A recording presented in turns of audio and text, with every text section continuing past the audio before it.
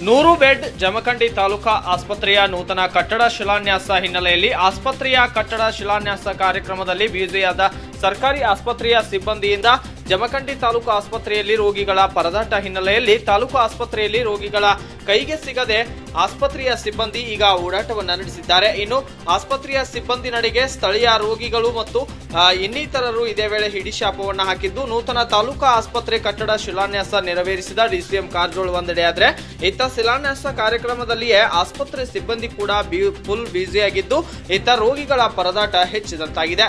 ಇನ್ನು ಹಳೆ ತಾಲೂಕು ಆಸ್ಪತ್ರೆಯ ಸಿಬ್ಬಂದಿ ಇಲ್ಲದೆ ಈಗ ಜಮಖಂಡಿ ತಾಲೂಕು ಆಸ್ಪತ್ರೆ ಖಾಲಿ ಖಾಲಿಯಾದಂತಾಗಿದೆ. Bureau report Bandenawaz Nadaf S nine TV, Jamkhandi.